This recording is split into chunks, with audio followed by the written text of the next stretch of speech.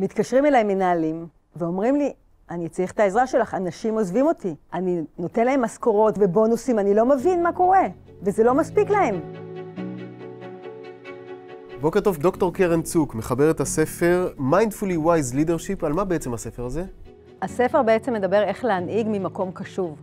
הרעיון במנהיגות מודעת וכבר קשובה, זה היכולת שלי באמת להיות קשוב לעצמי, במקום להיות קשוב לרעשים מבחוץ ולכל הדרישות השונות, לייצר איזשהו center פנימי, איזשהו הקשבה, איזשהו עוגן, ומתוך המקום של ההקשבה הזה לדעת מה הדבר הנכון לעשות. המיינדפולנס יכול לאפשר לנו להיות קשובים לעובדים שלנו, באמת לראות למה הם רוצים לעבוד איתנו, מה, עושה, מה המוטיבציות שלהם, למה הם איתנו, איך הם יכולים לגדול ולהביא את value שלהם לחברה, ולאפשר גדילה של ווין ווין, לאפשר לעובד שלי לגדול ולצמוח, ולארגון להרוויח את מה שיש לו להביא ולגדול בהתאם. אבל איפה ה-ROI על הדבר הזה? אנחנו היום הרי צריכים, צריכים להראות ROI לכל פעילות ארגונית. אז אני אתן לך דוגמה. אה, במחקר שעשיתי ראיינתי אנשים, ואחד מהמפתחים אמר לי, את יודעת מה?